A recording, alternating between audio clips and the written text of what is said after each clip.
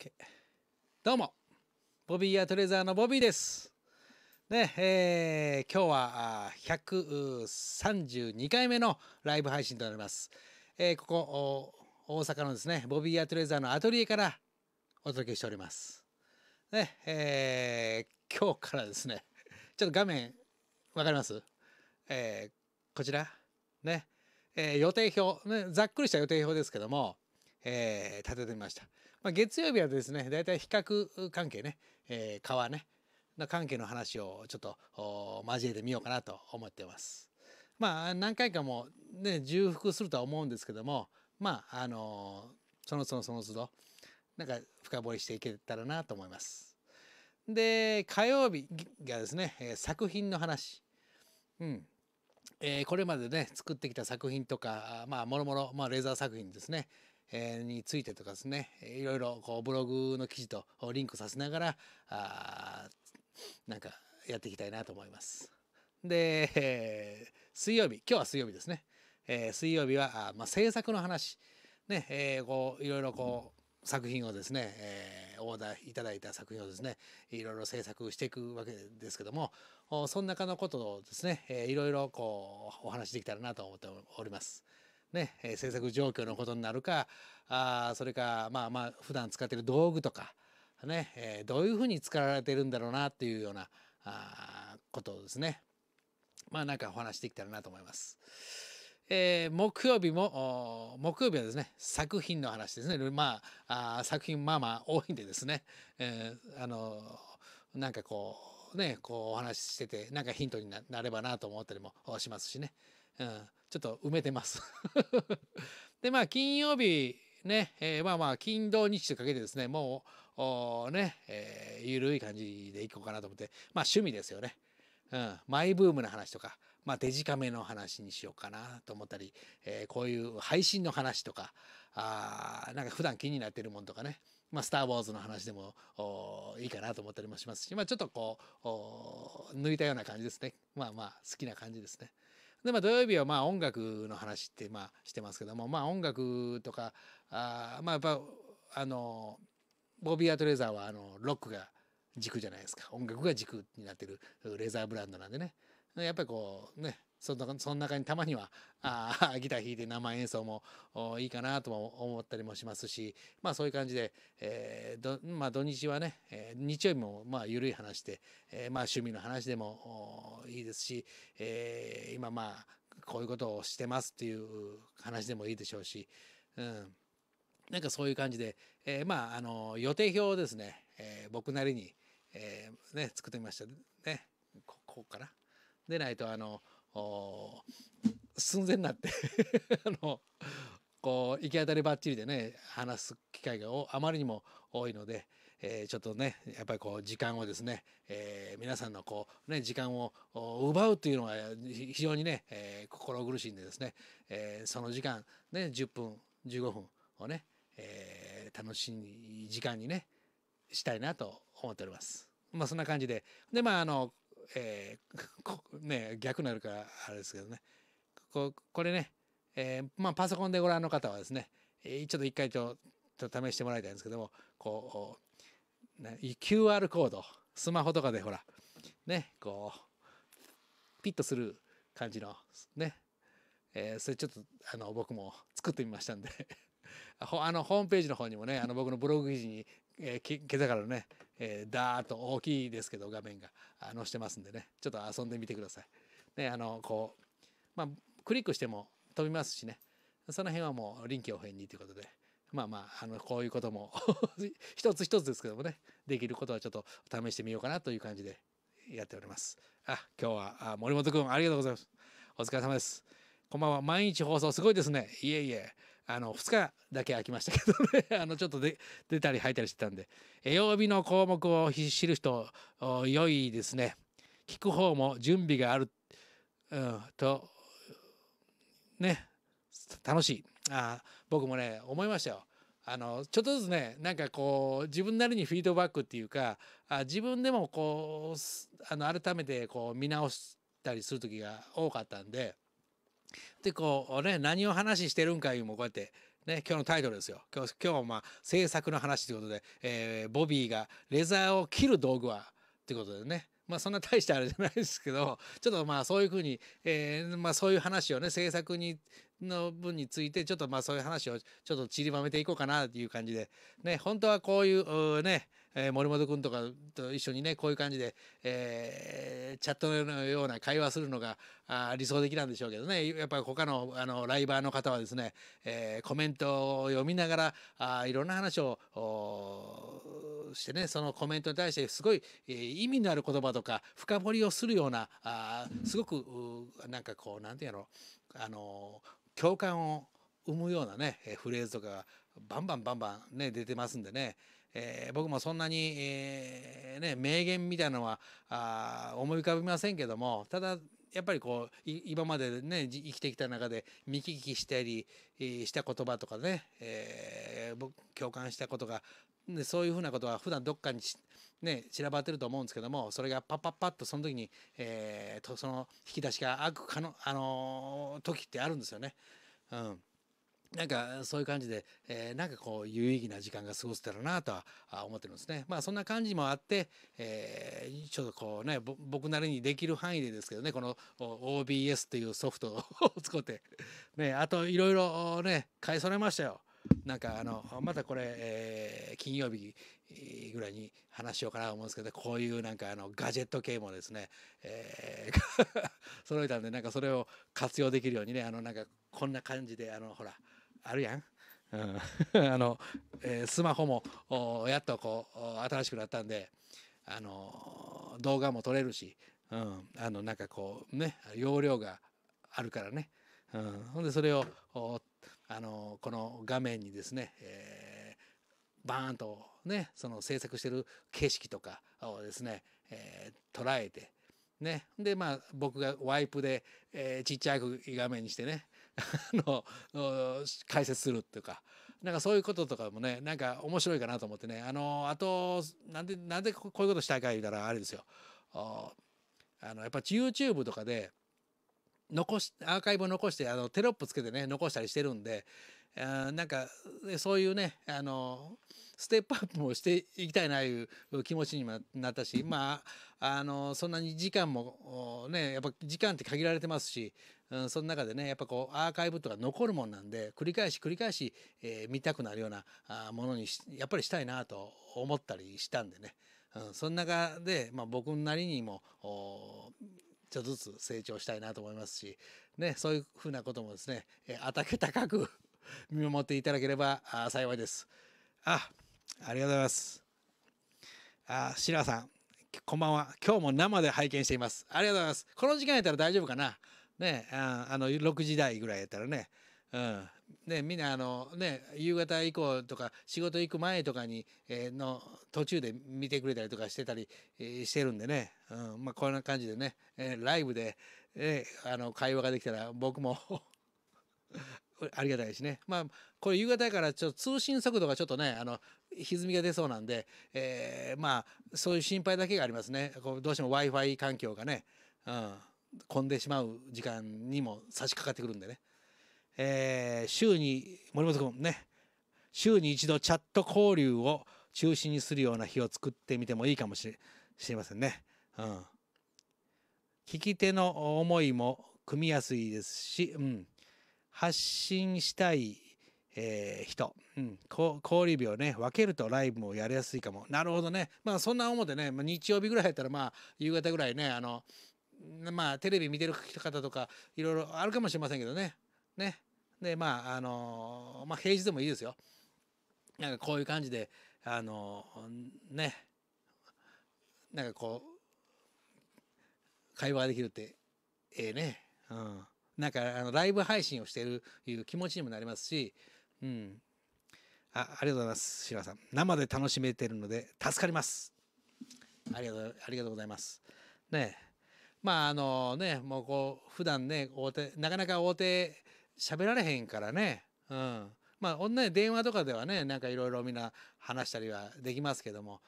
ねなかなかあね僕もあの 手が止まったりする時間も多いんで。ねなかなか前へ進めませんけどね。うん、はい。こんな感じでですね、えー今日はね、切る道具、カットする、まあ、レザーををカットしてる道具ですね。えーまあ、あの、セオリー的にはレザークラフトをやってる方ね、セオリー的にはですね、大体これですよ。革包丁ね。この革包丁、なんか変わった形ですね。うん。これをね、あのちょっとしむ、ね、こう、蓋しこうやってね、危ねこう切るわけですよこうやってねただこれはあの僕あの左利きなんですよねこうご覧いただいてると分かるようにねこれこれは道具はですね右用のなんですけどねまあまああの仕方なく、うん、ちょっとあの蓋が押しあのこうキャップを押したんでちょっと開いますね。ねえー まあこれはですね僕はあの実際はあのレザーをねカットする時には僕はねそんなに使ってないんですよ。実はあのまああのねヌメ革とかそういうあの割とあのごついやつね割となんていうの厚みのあるっていうかあのうんとね、まあ、そこにあるんやけど、えー、担任なめしっていうかなそういうやつはねあのよくそういうあの革の本とか見たらねこうやってねカットしてますけども僕の場合は、うん、このこれを使う時はあのまあボビアドレザーって言ったらあれでしょ、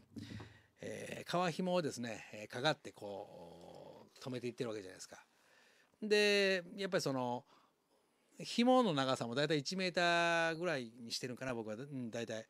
あのカットする時はね。あの使いやすいようにっていうかあの絡まりまくるんでね。でその時にあのやっぱこう革紐が終わるでしょ。そのね新しい革紐を継がなきゃいけないじゃないですか。でまあその時にあの革紐をですねスライスするわけですよ。こう。ほんでこうこっちをねあのスライスしてこっち側もスライスしてこうピタッとね合わさ合わすわけ。でここにあのいやあの特殊なボンドをですね専用ボンドをですね、えーあの貼り付けてね。それでまあかかっていくわけですけども。それとかあのちょっとねあの折り目というかレザーをですねこう折りたたむ時あってねあの折り伏せ縫いみたいな感じでその時にこう皮が分厚いままやったら具合悪い時があるんでそのへりをですね、えーこれを使ってですねこう削いでいくわけですよ。その時に使いますね。まあこれは本当はまあ左利き用がああればいいんでしょうけどこれもうずあの革細工を始めた頃のなんていうんですかあのほらキットってあるじゃないですか革細工を初めて使う人のためのっていうねもうなんていうんですかもう一色単になってこうね革細工スターターみたいなそれに入ってた ものをですねもうずっとね使ってますこれをですね あの研ぎ器でこう研ぎ器っていうか研ぎ石でこうねあの包丁研ぎので こうやって研いでねまあちょっとあの僕も下手くそなんでここちょっとねまっすぐになってないですけどねまあそんな感じで、えーレザーをスライスする時に、えー主に革包丁を使ってますね。はい、まあまああの大体、えーと、革細工しない人はこれ使わないかもしれませんけど、うんまあこれオルファのねブランドでもこういう風な感じのもありますね。はい、でもう僕があのメインで使ってるのはあこのオルファのカッターナイフですよ。もうあのーよく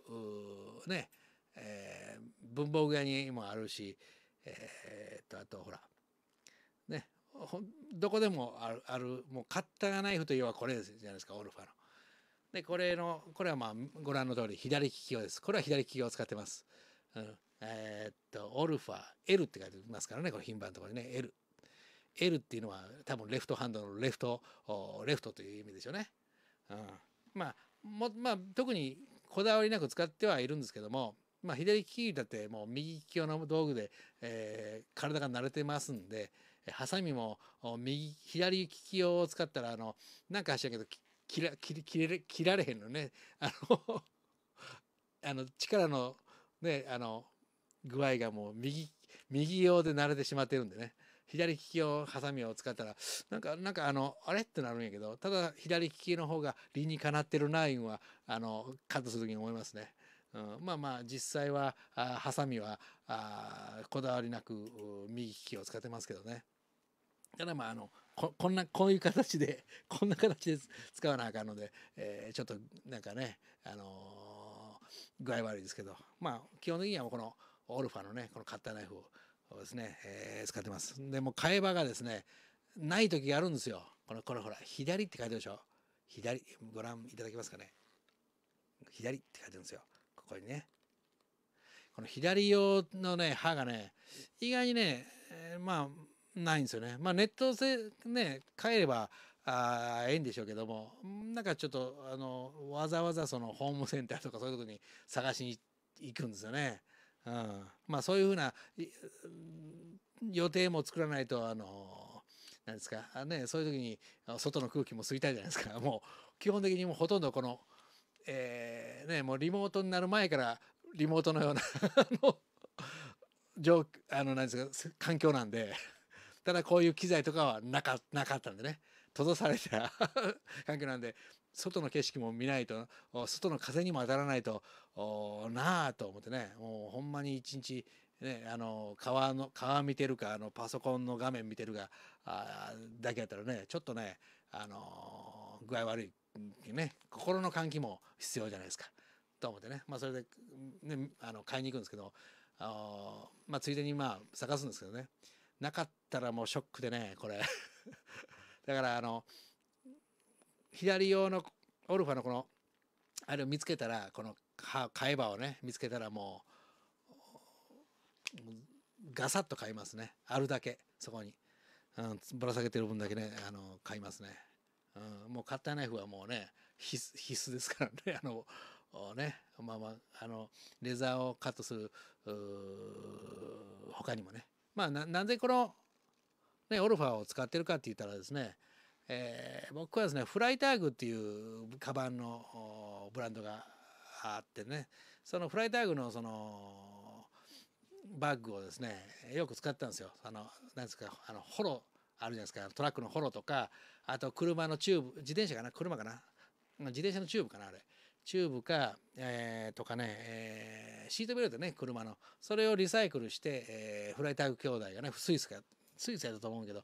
ねフライターグ兄弟があバッグを作り始めてっていうそれから今ね今のように世界に広がって世界に一つのバッグをですね、えー、なんていうんですかこう昔はトラックでこうねあのスピードで行ったのはもうそのフォローですね人のね歩幅っていうかそういう、えー、幅でこういうもの自分のものを運んだりとかするっていう感じのね。なんかそういうコンセプトがすごく好きで。でやっぱりデザイン僕もデザインのとかアートとかいろいろ、ね、関心ある方やったんであのやっぱりそういうコンセプトに、えー、惹かれましてね。でその彼らがあフライダーグ兄弟が使ってるのがこのオルファのカッターやったやったということをですね、えー、聞いてなるほどと思って。僕もやっぱりそういう創業者の一人としてですねなんかいいよねと思って。おまけにこれね日本製じゃないですか。ね、日本製のこの道具でですね、えー、誰もが使ってるねこの段ボールとか切る時にねいりますからねこれね。ねえー、まあこの左利き用が出てたというんでねもうもうずっと、まあ、これ一つしか持てないんですけどね、うん、ずもうもう10年以上ねこれ使ってますけど普段毎日使ってるからあ綺麗ですね。プラスチックのとこはねまだね。はいあなんかこういろいろこう森本君とか書いてくれたらねありがとうありがとう。私も生ライブはあ直接反応があるのが嬉しいですね。うん。革包丁。ナイフではないんですね、うん、まあまあレザーナイフナイフとはちょっとちゃうね。うん。なんかほんまになんか断ち切るような感じのねこれね。うん。堺なんか行けば左用を作ってくれるかも。うん。あそうこれね革包丁も左用はねあるみたい。うん。けどもうね右用で物慣れたらもうなんかちょっとね。うん。でまああの細かい作業は僕はこれではやらないんでもうこれかもうデザインナイフですかね。ああとはもうハサミとかもあるもので道具でねあとはポンチでポンポンポンと細いやつ叩いたりとかしながらね、うん、やってますね、うん、まあねはい、うん、徳山さんありがとうございます今日も、えー、こんばんはね、お疲れ様です。今日も一日。ね、あの、ご覧いただき、コメントも入れてくれたら嬉しいですよ。ね、えー、僕のこの配信というか、もう、ボビーアトレザーのね、えー、見てくれてる方とか、持ってる方はね、えー、男性が多いですね。男性人気かな。うん、あのー、気持ちは乙女なんですけどね。なんか男性人気ですね。まあまあそんな感じでね、えー、今日もですね、えー、まあ今日からですね まあ僕今日はまあ道具の話ということで制作の話についてのまつわることで今日まあ手っ取り早くっていうかねこの革包丁とかねこんな感じねナイフとかねこれについてねちょっとお話ししてみました。それとちょっとしたリニューアルっていうかねそんな感じでえー、ねこうこれこれこう見てこいかな。ね。えー、ね。予定表。まあ今日は水曜日ですよね。ということで、えー、まあ制作についてお話をさせていただきました。まあ明日はですね、えー、作品についてのねそんな話を散りばみたいなと思います。ね、何を語ろうかなと思うんですけども。まあねそんなあの、みんながああの退屈しないようなお話にはなると思います。ね。はい、そんな感じで、えー、今日もね、お付き合いいただきありがとうございます。それではまた次回もお会いしましょう。えー、ボビーでした。それじゃあ、